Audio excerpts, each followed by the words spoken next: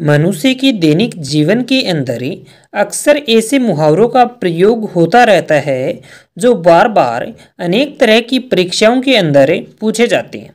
और आज का हमारा मुहावरा है मिट्टी में मिलना। यानी आज हम इस वीडियो के अंदर मिट्टी में मिलना, मुहावरे के अर्थ और इस मुहावरे के वाक्यम प्रयोग के बारे में जानेंगे। तो वीडियो को पूरा देखें। सबसे पहले हम जान लेते हैं कि मिट्टी में मिलना मुहावरे का अर्थ क्या होता है? यानी इस मुहावरे का अर्थ होता है बर्बाद होना।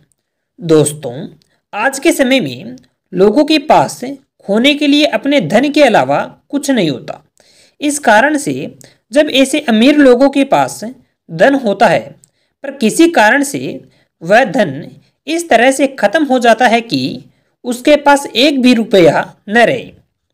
इस तरह से जब उसके पास कुछ भी नहीं होता, तब वह बर्बाद हो जाता है और बर्बाद होने को ही मिट्टी में मिलना कहा जाता है।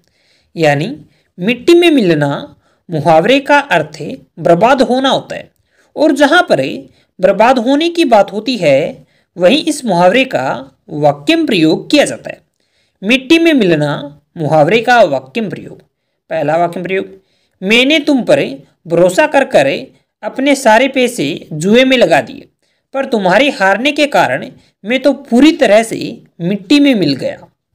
दूसरा वाक्य प्रयोग, नया काम शुरू करने के लिए मैंने अनेक लोगों से पैसे उधार ले लिए, पर जब मेरे कार्यालय में आग लग गई तो मैं मिट्टी में मिल गया। तीसरा वाक्य प्रयोग, सेठ ने रामलाल का गिरवी रखा मकान अच्छे पैसे में बेच दिया, जिसके कारण से रामलाल बेचारा मिट्टी में मिल गया। चौथा वाक्य प्रयोग, चोर ने धनपत के सारे रुपए चुरा लिए, जिसके कारण से उसके पैसे मिट्टी में मिल गए। पांचवा वाक्य प्रयोग, श्याम और राम के बीच में फूट डाल रहे किशन को मैंने रंगे हाथों पकड़ लिया, जिसके कारण से किशन की सारी योजना मिट्टी में मिल गई। छठा वाक्य प्रयोग, चोर की एक छोटी सी गलती के कारण चोर की सारी योजना को मिट्टी में मिलते देर नहीं लगी। सातवां वाक्य प्रयोग इस छोटे से लड़के ने सेठ के ठगने की योजना को मिट्टी में मिला दिया। आठवां वाक्य प्रयोग।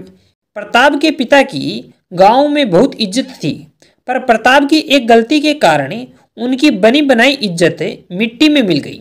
दोस्तों, इस तरह से मिट्टी में मिलना मुहावरे का वाक्यम प्रयोग किया जाता है। अगर आप इस मुहावरे के बारे में किसी भी प्रकार का प्रश्न पूछना चाहते हैं तो आप अपना प्रश्न कमेंट बॉक्स में रख सकते हैं। इसके अलावा, अगर आप विभिन्न तरह के मुहावरों के बारे में और अधिक जानकारी चाहते हैं तो आप हमारे इस चैनल को सब्सक्राइब करें और बेल आइकन को दबाएँ, ताकि अगले विभिन्न तरह के वीडियो की नोटिफिकेशन आपके पास समय पर पहुँच सके और आप अनेक तरह के मुहावरों के बारे में ज्ञान हासिल कर सकें। तो चैनल को सब्सक्राइब करें और बेल आइकन को दबाना ना भूलें।